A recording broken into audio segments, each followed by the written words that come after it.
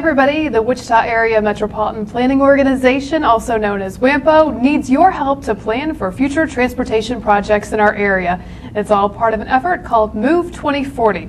We'll get to that in just a minute, but first I'd like to introduce my two guests. We have Gloria Jeff down at the end, who is the principal planner for WAMPO, and also Tim Norton, who happens to be the WAMPO chair and a Sedgwick County Commissioner. Thank you both for being here. Well, we're glad to be here to tell our story. It's a wonderful opportunity. Why don't you guys start off by first just explaining to everybody what WAMPO is and what you guys do? Uh, I'm, I am chairman of the uh, Metropolitan Planning Organization, and it is for transportation. It's authorized by the federal government and created in metro areas of certain populations around the United States. Uh, we're a fully functional planning organization. We have staff. We have an expanded board that we've expanded recently of elected officials throughout the area that looks at federal government uh, funding, state funding, and local funding, and try to use that funding in the best manager managed process that makes the most sense for our regional area. And Gloria, how big of an area is that? The Wichita metropolitan area includes all of the county of Sedgwick, portions of Butler and Sumner County, and some 22 cities within that boundary are also incorporated. Uh, we have a population of over 250,000 in that entire metropolitan area, which makes us what's called a transportation management area, which is the highest level of metropolitan planning organization that the federal government recognizes. And if you guys would talk a little bit about which areas this covers, is it just streets and highways? No, it'll it'll talk about pathways. It'll talk about rail, uh, transit, uh, local transit. So it covers almost any kind of mobility. And, and then there's the offshoots of congestion management and some other things that we need to deal with. It's fair to say that it's a typical transportation organization. It's about moving people and about moving goods. And in this community, it's the lifeblood of our economy. When we look at who are our largest employers, they're transportation organizations, whether it's Cessna or Beech or Spirit, they're all transportation organizations. They depend on the presence of rail systems, they depend on the presence of solid roadways to move trucking, to get raw materials into their facilities, to get their employees to their facilities, as well as get their finished products out the door and delivered to their customers. That's a good point, and I'm sure that emphasizes the importance of what you guys are doing with Move 2040. Well, we, we have to be very serious about this work. There's limited funding from the feds and the state and even locally. So being very strategic with how we spend our money, not only for the economy, but for moving people and the safety of our people in the community is very important. Absolutely. Will you explain what Move 2040 is? Move 2040 is our 25 year uh, transportation plan for this metropolitan area. Transportation is primarily infrastructure, which means we do big projects uh, that last a long time. Uh, you don't build a roadway for a couple of years and then decide to move it somewhere else. So, part of the reason for looking at it for 25 years is a recognition that it's important to look long term and, and figure out what makes the most sense. This community has turned a corner and has said what's important to us is having a clear vision of where we want to go in the future and making sure that we fund projects regardless of the mode that it's in, whether it's public transportation or roadways, that we invest in a way that moves us toward the future we'd like to see. And transportation is a big part of that. The Move 2040 effort is the translation of the vision for the future for the Wichita metropolitan area, including the city of Wichita, the county of Sedgwick, and all of our member organizations, and translating that into an investment direction where they're saying we're going to fund these kinds of projects, whether it's at the level of WAMPO where we have dollars available from the federal government that we distribute, or it's local units of government making investments in their component of the transportation system to support that. Because at the end of the day, it's about a regional approach. It's about recognizing our codependency on one another. Whether it's the city of Wichita being dependent upon workers that come here from Butler County, that come from Sumner County to work in our community and need to be able to get back and forth, to the fact that we all care whether or not um, the manufacturing sites outside of the city of Wichita uh, are successful because it means our local economy will be successful. Um, another element of Move 2040 is it creates a forum for discussion. We bring together people who would not normally talk to one another about issues into a central opportunity for discussion, whether it's about investing in a railroad spur to encourage economic development in the community of Maize, or whether it's actually putting in the same room in the same place county commissioners from all three counties into a room with small citizen neighborhood organizations and talk about well, we think transportation is important, but we've got this issue in our community, and helping them all understand one another's point of view and reaching a shared decision about the direction that we take, as opposed to, I represent Sedgwick County and that's all I care about. That's a great point. Um, just to make sure I'm clear, so does this plan cover like repairs to existing infrastructure or is this new projects? It can be new projects, but it can be uh, revitalization of, of the transportation system that we currently have. Now, most of it will be new projects that will move us into the future, but repairing some old areas and revitalizing them becomes very important sometimes too. Exactly. Um, it may not be new construction, but there'll be new projects in the context that we need to make major repairs on some portion of the roadway system, or we need to invest new in vehicles for our public transportation system as they establish new routes. So those will be new projects for those entities, but they'll be building on protecting our current investment and our current infrastructure. One of the interesting facts is the value of our transportation system in the Wichita metropolitan area is almost 11 billion, and that is with a B, dollars. That's not a trivial amount of investment to have been made in the past.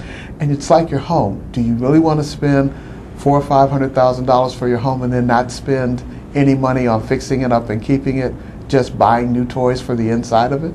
I think most people will be shocked to hear that $11 billion figure. That's quite huge.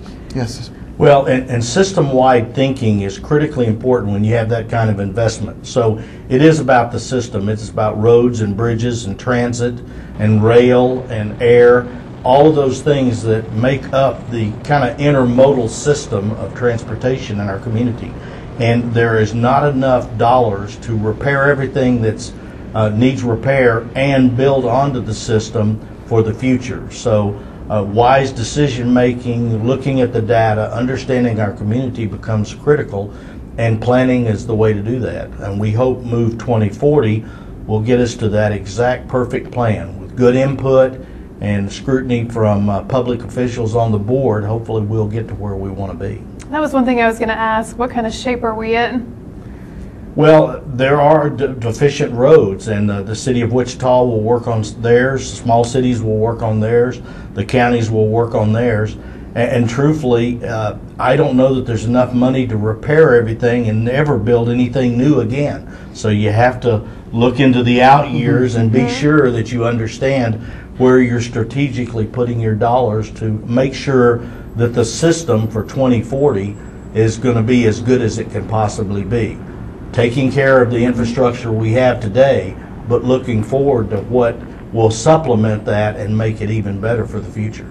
Is that a common scenario playing out throughout the country, or are we unique in being in that situation? Well, I think Gloria probably knows that better than I do because she's been around in, in various states and worked with transportation for her whole life. And I think that's maybe she has a better comment on that than I do. I think it's fair to say that our circumstance is not unique. The country as a whole has been underinvesting in transportation for a couple of decades. The challenge that we have today in the Wichita metropolitan area is that those roadways, for example, that receive federal and state money, 70% of them are in very good or good condition. That's basically an A or B if one thinks of an A through E rating system. Unfortunately, when we look at our local roadway system, we don't have those kinds of numbers. And so the question becomes how do we balance making sure that those heavily utilized routes that receive federal and state money stay in good condition, you know, B, B minus, as opposed to, and at the same time using those dollars that we would have spent there to make sure that the residential streets, where many of our citizens have their homes and their residences, are also maintained in a fashion. Um, an example being there are city streets in the city of Wichita that are still dirt roads. That's not acceptable. I'm sure that there are communities, some of the smaller communities, have those same kinds of challenges where they need to upgrade their local roadway system. It all comes out of the same pot of money in terms of local dollars. So, how do we balance that? Is the challenge. But nationally, we aren't unique. As a matter of fact, we're in better shape than other parts in some parts of the country. But having said that, is there work for us to do? Absolutely. Are there areas that we need to target investment and do better? Absolutely. So, how fierce is the competition then for those federal dollars? There are, the competition is tremendous. The Highway Trust Fund is distributed by formula, a formula that Congress sets every time they reauthorize transportation um, uh, spending. And they do that, traditionally, they've done it in four to six year increments. The last three to four years, they've been doing it in 30, 60, and 90 day increments, which doesn't make anybody happy. Uh, what we are, and that formula distribution is actually done very well for Kansas because Kansas is one of the few states in the nation where you actually get back more money from Washington than you send to Washington. So for every dollar that you send to Washington, you actually get um, somewhere in the neighborhood of a dollar to a dollar fourteen back. So in that context, we're in great shape. But it's a little bit skewed as well because, as I've been reminded by my friends in Washington on a number of occasions, since they have been pulling money out of the general fund to keep the trust fund from going bankrupt, everybody gets more than they send because it's not just the fuel tax that we get reimbursed on, it's the general tax monies as well. Mm-hmm. Um, so, as you guys are trying to figure out how to prioritize and be strategic with this plan, um, do you know at this point which specific proposals you might be looking at or certain projects? Well, we've got a maybe a very broad idea of projects that we might want to look at. But I think we need citizen input first as to what's their priorities. Is transit more important than pathways and walkability and livability and, and complete streets? Or is major thoroughfares and roadways more important? Or is rail starting to become important in our community? Some passenger rail or more freight movement. So uh, we need to hear the public's viewpoint of that. We've got some very experienced staff that understands what maybe they think the plan should look like. We've got a, a broad base of elected officials locally that'll have their viewpoint. We have a project advisory committee that'll look at the individual project, projects and try to rank them. But we need to start out by looking into the community and getting some feedback of what they think we should spend the money on. And you guys recently just launched some public engagement meetings, right? We have a four phase process, Okay. and um, we like to think of it as an aircraft flight. And before we left the ground, we were asking for directions. Uh, we were asking the public, what do you want? How do you feel about your transportation system? Are you satisfied with it? What do you use it, utilize it for? We went to the public at large. We went to subject matter experts. We went to the goods movement community. We went to groups that represent traditionally underrepresented or traditionally not represented at the table groups as well. And we also then did a technical analysis of the transportation system to see where our strengths were, where were there opportunities for improvement, and where there were areas that we just weren't doing a good job at all. We finished up that phase of the process. Um, we conducted a workshop with elected officials from the metropolitan area and ask them to develop what we call investment strategies. What's that picture for the future? And we have four very broad investment strategies that we're looking at at the moment. One has to do with fixing bottlenecks. We have locations in the community where the system works as a whole works pretty well, but there are places where people have to slow down. I joke with some people, yeah, we finally slow you down to the posted speed limit, but there are places where uh, traffic does not move as smoothly as it should. There's a second one that we're looking at that says we really need to protect the investment that we have right now. And so the focus there is maintaining and investing in the current system that's in place now. There's a third option that we're looking at that says we need to focus on making sure that people have a variety of choices because that's one of the things we heard very loud and clear in our first round of public engagement is that people want to have more than choices.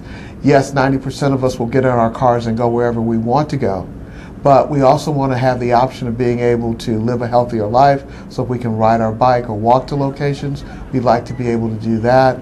We'd like to be able to make sure that as our population gets older as a baby boomer i know what it feels like you know, time is marching on, and there are a lot of baby boomers in this community, and they're not moving to Florida, they're not moving to Arizona, they're staying right here.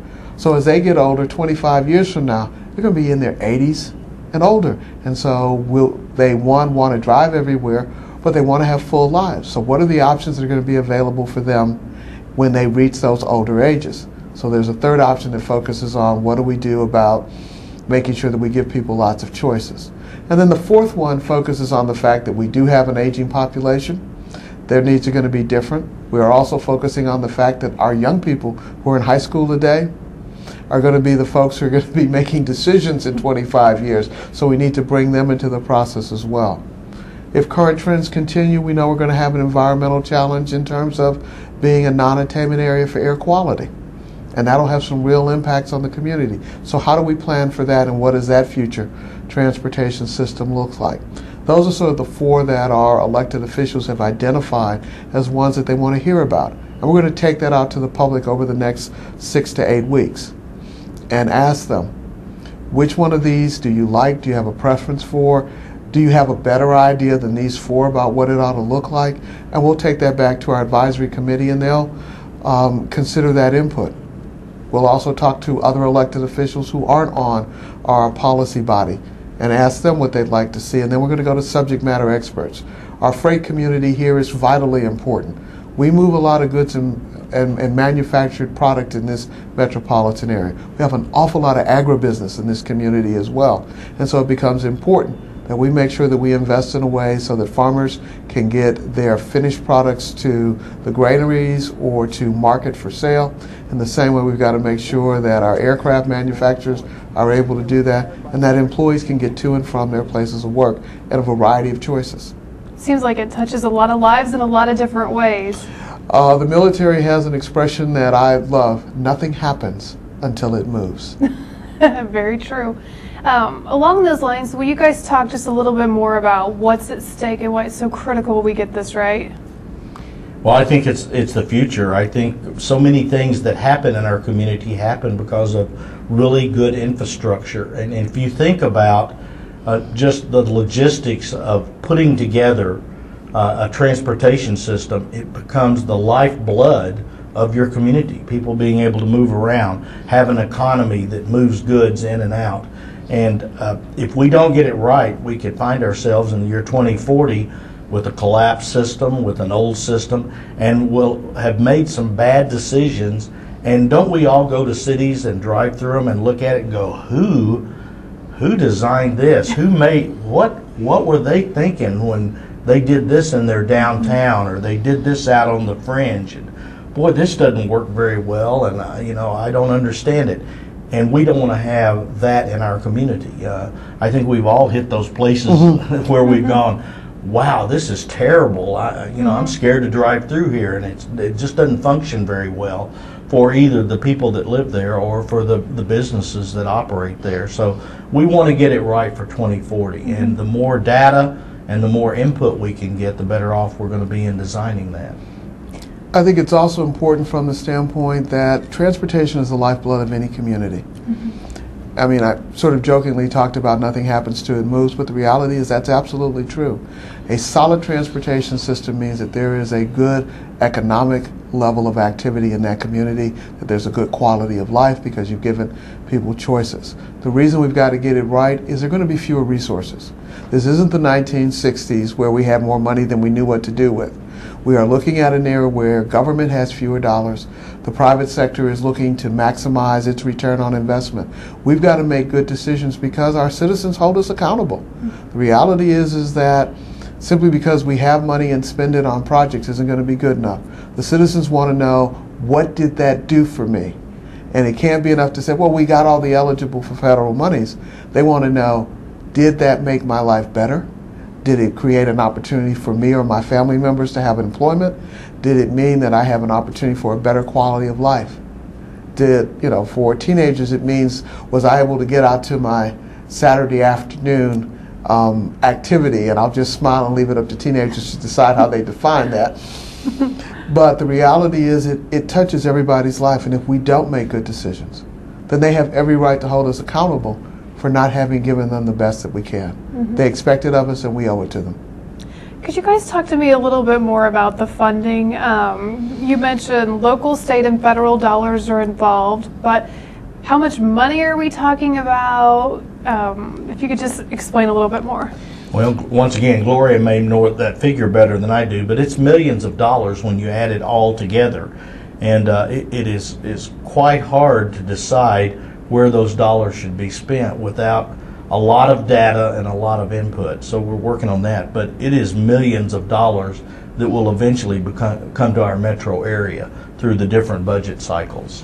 This community is spending in the neighborhood, um, just in terms of local dollars, about $149 million a year to support transportation infrastructure, either in terms of constructing new roadways, repairing existing uh, roadways, or in some way investing in technology to support transportation.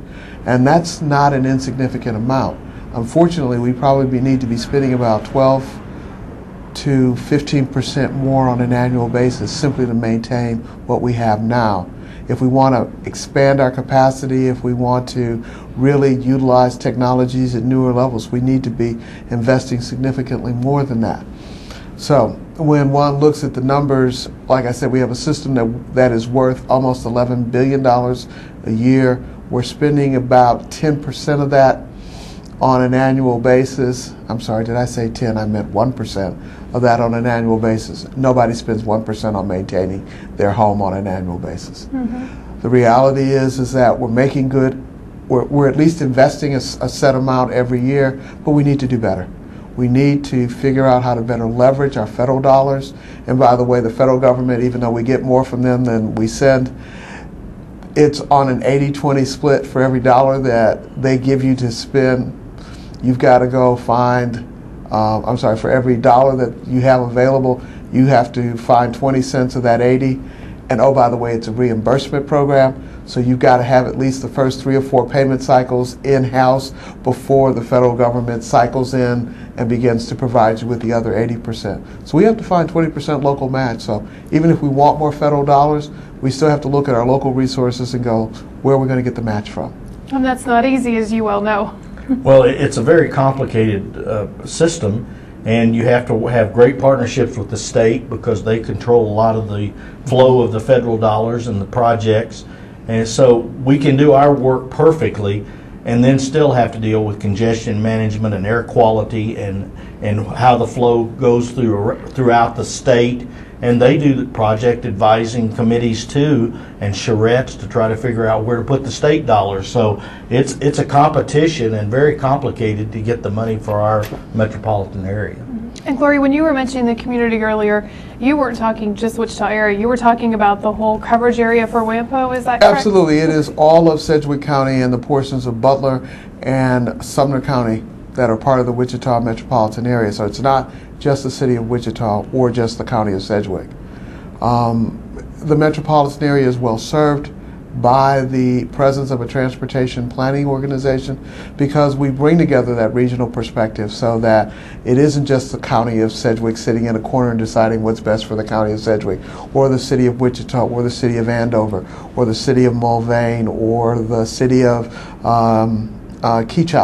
It is literally putting everybody into a, a room together and talking about how do we move forward together recognizing that each community has its own set of fundamental issues, but recognizing that transportation systems don't end at, at governmentally defined boundaries. Mm-hmm. The reality is, folks who live in um, Park City work in Mulvane. We have folks who um, live in Andover and work in Goodell so it really does, or Goddard, I'm sorry. Um, it really does depend on where they want to work, where they want to recreate, and you've got to be able to connect them. Mm-hmm. Um, so, how can people get involved? They can come to the community meetings, and are there any other ways that they can engage? Well, certainly they can log on, log on to our website and, and give input through the website. Uh, I think it's www.wampo.org. Yep and we would encourage them to do that. They can get a lot of information about WAMPO and Move 2040 and the process. And I think all the engagement process will be posted on there. And I'm not sure, can they give feedback right on the website? They can give feedback right on the website. We also have a Facebook account. That's popular. very popular, so they have an opportunity mm-hmm. to touch base in then. And again, the website is www.wampo.org. Um, in addition, uh, they can call us here um, at um, 316 352 4854 and um, be able to get someone to respond there. But again, we're on um, the World Wide Web. We have a Facebook account, and we have a constant con- constant contact account as well. So please don't hesitate.